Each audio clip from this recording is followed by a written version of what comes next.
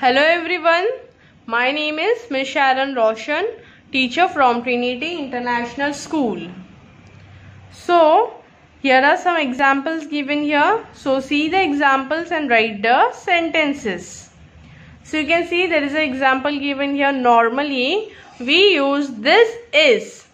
So, we use this always for the things that is near us. हम this ये word है ना T H I S this ये word हम कब यूज़ करते हैं?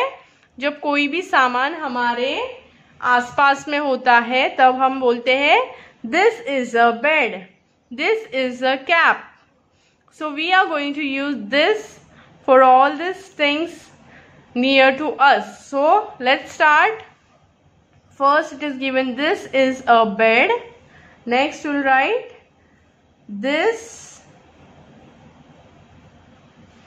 is a net.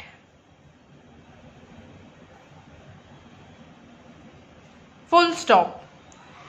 Next, this is a bag.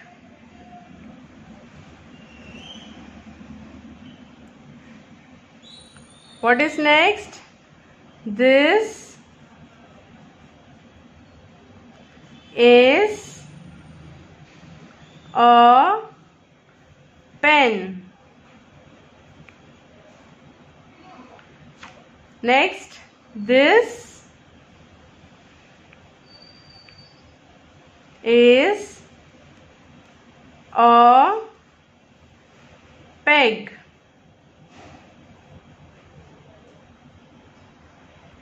So now here we have to complete the sentence first and then we have to tick the correct word. First we'll complete the sentences and then we'll tick the correct word. So first is this is a peg. And which is the correct word? It is red or it is wet? It is red. This is the correct word. So tick tick that word correct word. Next is this is a cat. This is a cat. So it is a pet. So pet is the correct word. So correct put a tick on that word. Next two you have to do this is a mat and it is red. So put the tick mark on red. Next this is a hen and it is wet. Put the tick mark on wet. So you have to do this. This will be your homework.